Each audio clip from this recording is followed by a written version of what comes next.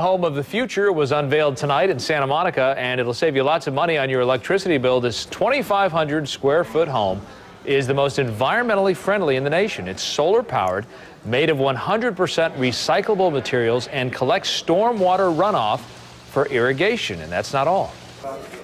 Uh, we have uh, photovoltaics, which creates power.